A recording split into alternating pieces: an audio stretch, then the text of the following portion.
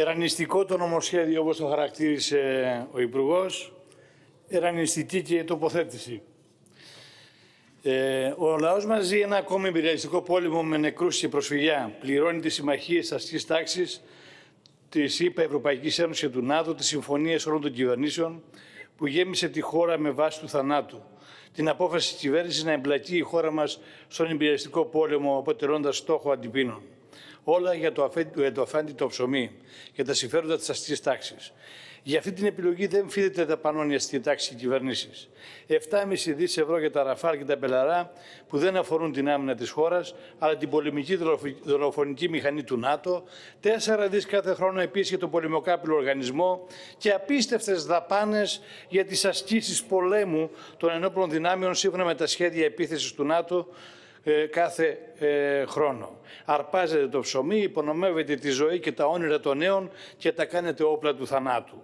Πόροι που δεν αξιοποιήθηκαν ποτέ για τη στήριξη του λαού μας, για την προστασία της υγείας του, ακόμα και μέσω πανδημίας, που δεν χρησιμοποιήθηκαν για την προστασία από την ακρίβεια, για τη στήριξη του εισοδήματος, πόροι που δεν υπήρχαν ποτέ για να δοθούν στους Δήμους, ξαφνικά είναι διαθέσιμοι για να στηρίξουν τις νατοικές αποστολές εκτός συνόρων, που μάλιστα καθιστούν το λαό μας στόχο των επιθέσεων. Μιλάμε για πρόκληση. Κύριε Υπουργέ, τα οικονομικά των Δήμων είναι σε οριακή κατάσταση. Ενώ οι θεσμοθετημένοι πόροι, ακόμα με βάση τον αντιλαϊκό νόμο, τον Καλλικράτη, που πρέπει να αποδίδεται είναι πάνω από 5 δις ευρώ, δίνεται μόνο το 35%, 65% λιγότερα.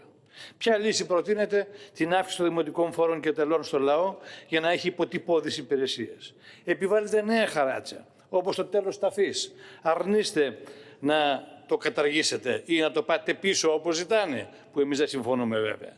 Αδιαφορείτε μπροστά στο μεγάλο κόστος της ενέργειας και των καυσίμων για τη λειτουργία των διαφόρων δομών, σχολεία, ΔΕΙΑ, που αφορά το νερό, αθλητικές εγκαταστάσεις, δημοτική συγκοινωνία και άλλα, που έχουν εκτοξευθεί, έχουν φτάσει πάνω από το 80%.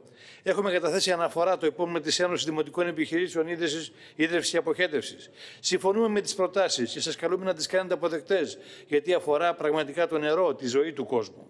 Για τους εργαζόμενους με συμβάσεις λόγω COVID, η παράταση μέχρι τέλος Μαΐου είναι το μαρτύριο της σταγόνας, όπως βέβαια και κάθε άλλη παράταση που κάνετε.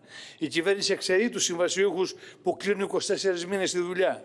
Το αποτέλεσμα είναι οι εργαζόμενοι τόσο από τους Δήμους όσο και από τις περιφέρειες να κινδυνεύουν με απόλυση όπως για παράδειγμα 17 εργαζόμενοι του Δήμου Ηλιούπολης που σήμερα λήγουν οι συμβάσεις τους. Ήδη είναι στον αγώνα και διεκδικούν τη συνέχιση της δουλειάς τους.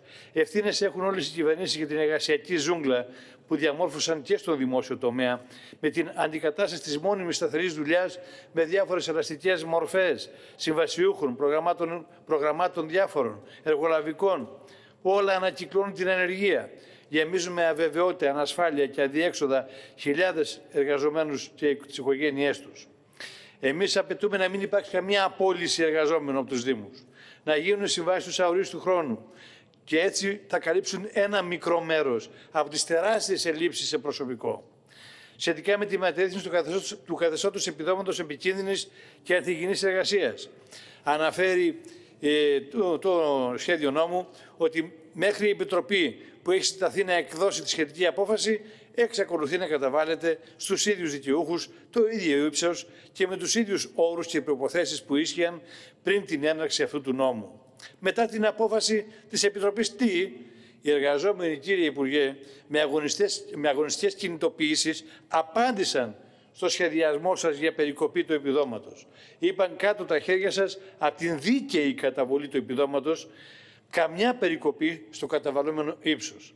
Είναι δίκαιο γιατί είναι γνωστές οι συνθήκες δουλειάς που επιβαρύνουν εξαιρετικά την υγεία των εργαζομένων. Η τοπική διοίκηση με όλες τις νομοθετικές ρυθμίσεις έρχεται να υπηρετήσει τις ανάγκες της καπιταλιστική ανάπτυξης. Η τροπολογία για τις αρμοδιότητες της Οικονομικής Επιτροπής είναι χαρακτηριστική θα μπορεί, λέτε, η Οικονομική Επιτροπή και όχι το Δημοτικό Συμβούλιο να αποφασίζει για την άσκηση ή μη ένδικων μέσων που προφανώς αφορούν εργολάβους, προμηθευτές και άλλους της αγοράς, γιατί εξαιρείται, λέτε, τους εργαζόμενους που διεκδικούν τη σταθερή δουλειά. Εκεί θωρακίζεται τις ελαστικές μορφές. Θα μπορεί η Οικονομική Επιτροπή με απόφασή της να παραχωρεί ακίνητα εκτάσεις γης, στην ΕΤΑΔ, στο ΤΑΙΠΕΔ, στο Υπερταμείο, χωρίς επίσης απόφαση του Δημοτικού Συμβουλίου. Είναι απαράδεκτες ρυθμίσεις αυτές, κύριε Υπουργέ, και εμείς λέμε ότι πρέπει να τις πάρετε πίσω. Δεν μπορεί μια οικονομική επιτροπή να αποφασίζει για να παραχωρεί εκτάσεις γης και ακίνητα στο υπερταμείο, στο ΤΑΙΠΕΔ και αλλού. Λοιπόν, μα λέτε το όχι η Οικονομική Επιτροπή, όχι το Δημοτικό Συμβούλιο. Είναι απαράδεκτο και πρέπει να το πάρετε πίσω. Σε σχέση με την Εθνική Σύνταξη Ομογενών, έχουμε καταθέσει επαναλημμένα ερωτήσεις επίκαιρες για την άδικη μεταχείριση χιλιάδων εργαζομένων που δεν είχαν μόνιμη διαμονή 40 χρόνια στην Ελλάδα. Τους έχετε καταδικάσει εσείς και η προηγούμενη κυβέρνηση να ζουν στην απόλυτη φτώχεια. Παρόλο που πληρούν τις ασφαλιστικές προποθέσει, η σύνταξή τους υπολείπεται κατά πολύ. Οι διακρίσεις είναι απαράδεκτες. Και εμείς έχουμε ζητήσει την απάλληψη της παραγράφου του άρθρου 7 του νόμου Κατρούγκαλου ε, για να μπορούν να, να υπάρχει μια δίκαιη μεταχείριση. Όλοι έχουν οικογένειες, δίνουν εισφορές, πληρώνουν φόρους, χαράτσια, ζουν την ακρίβεια, τη φτώχεια και δεν μπορεί να λέτε σήμερα ότι τα 40 γίνονται 30 χρόνια και αυτό είναι θετικό. Εμείς λέμε ότι θα πρέπει να υπάρξει αυτή η βασική προϋπόθεση που είναι η 15 ετία ή τα 4.500 ε, οι 4.500 ημέρες ασφάλισης χωρίς άλλον περιορισμό. Σε ό,τι αφορά τους ανασφάλιστους υπερήλικες που διαμένουν στην Ελλάδα, θεωρούμε επίσης ότι πρέπει να λαμβάνουν πλήρες επίδομα χωρίς την προϋπόθεση διαμονής στην Ελλάδα 35 χρόνια και χωρίς τον απαράδεκτο εξαναγκασμό για αποποίηση της υπηκότητάς τους από τη χώρα προέλευσης, την οποία έζησαν και εργάστηκαν για πάρα πολλές δεκαετίες. Με τις διατάξεις των άρθρων 81 και 83 διευκολύνεται τη λεγόμενη μετάκληση εργατών για εποχική εργασία σε όφελος της εργοδοσίας και της με, μεγάλης καπιταλιστικής αγροτικής παραγωγής.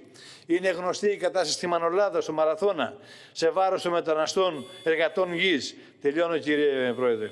Ε, είναι ε, επίσης ε, είναι με τις νέες διατάξεις και τις πρόσφατες συμφωνίες του Υπουργείου Μετανάστευσης και Ασύλου με τον Μπαγκλαντές, ενώ προετοιμάζονται και με το Πακιστάν και άλλες χώρες, νομιμοποιείται το σύγχρονο σκλαβοπάζαρο της πιο άγριας εκμετάλλευσης. Ω κόμμα έχουμε καταθέσει σχετική ερώτηση και περιμένουμε απαντήσεις. Θεσμοθετείται παράβολο υπέρ της εργοδοσία για τη συνολική περίοδο της πενταετίας και όχι για κάθε ετήσια περίοδο όπως προλυπόταν μέχρι τώρα. Δίνεται τη δυνατότητα για το πιο φτηνό εργόσιμο στον ΟΓΑ. Διευκολύνεται, διευκολύνεται την ηλεκτρονική διαδικασία θέτοντας ένα καθήκον κοινοποίησης στι υπηρεσίε από τις ήδη υποστελεχωμένες υπηρεσίες μετανάστευσης. Οι μετανάστες που ζουν και εργάζονται για χρόνια στη χώρα, στη χώρα υποχρεώνονται ουσιαστικά να προσφύγουν στη νέα άδεια διαμονής για εποχική εργασία του νέου άρθρου 18α του κώδικα μετανάστευσης, δηλαδή στο απαράδεκτο καθεστώς αυτής της εποχικής εργασίας χωρίς δικαιώματα οικογενειακής επανένωσης, υπολογισμού του χρόνου παραμονής στη χώρα για την πρόσβαση σε άλλες άδειες κλπ. Είναι κινησμός και βαρβαρότητα, τους καταδικάζεται να ζουν σε τρόγλες και στη βρωμιά. Εμείς διεκδικούμε την πλήρη νομοποίηση με άδειες διαμονής όλων των μεταναστών εργατών γης που ζουν και εργάζονται για χρόνια στην Ελλάδα. Απαιτούμε να σταματήσει αυτός ο εκβιασμός σε βάρος τους. Η λαϊκή οικογένεια στενάζει κάτω από το βάρος της ανεργίας, της φτώχειας, της ακρίβειας και ο λαός με εφευρετικότητα, κύριε Υπουργέ, απαντά στην κοροϊδία το μέτρο σας. Πιστεύουμε ότι η διέξοδος είναι ο αγώνας, η ρήξη, η ανατροπή με αυτή την πολιτική που υπηρετεί στους σχεδιασμούς του μεγάλου κεφαλαίου για αύξηση της κερδοφορίας των επιχειρήσεων.